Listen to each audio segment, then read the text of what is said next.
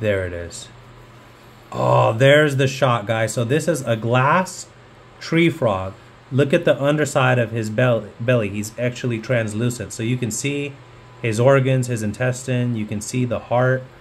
Uh, that is a beautiful animal. Look at just the inside of him pumping. So these frogs um, are tropical. They, they're arboreal, meaning they live in the tree area. As you can see, he blends in definitely to like his green, green plants and things of that nature. This was quite a hard shot to get at this guy because they move so quick. But they have plenty of predators, giant wasps to snakes. But the most significant risk to their existence is the loss of habitat from deforestation. The Central and South American regions where glass frogs live are continuing to decrease as rainforests are cut down to make room for human and agricultural development. In 2001, for example, Mexico lost 186,000 hectares of natural forest. So it's sad to see a beautiful creature like this be threatened from human um, human encroachment. So rather than laying their eggs in water like most other types of frogs, glass frogs lay their eggs on the underside of leaves, overhanging a stream. After the eggs hatch, the tadpoles fall from the leaf into the water below where they develop into frogs. The the good part about this is they get a full-time parent because the females do not stick around after the males uh, sorry after the females lay the eggs they do not stick around. So it's the males that have to take care of them the bad part about this is the eggs are susceptible to being eaten by other predators. Insects particularly wasps will eat the eggs. It's an easy meal. So what the males will do you can actually look it up on youtube. Look up glass frog versus wasp. When the wasp gets too close the males will use the hind legs to literally kick or push away the wasp, kind of like a spring.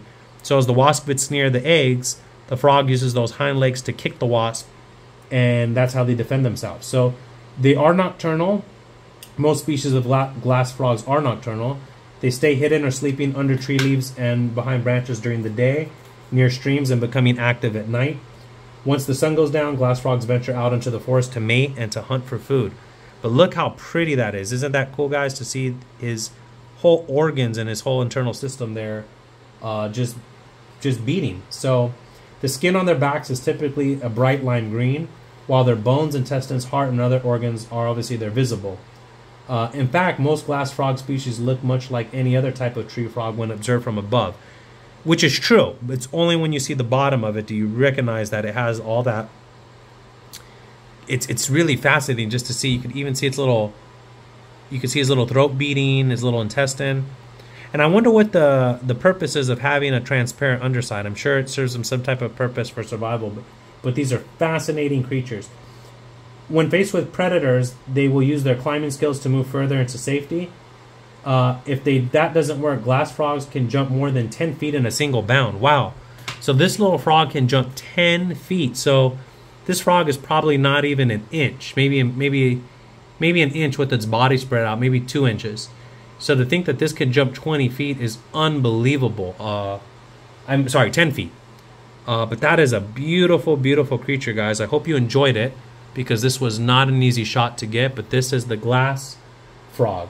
Okay, thank you all so much.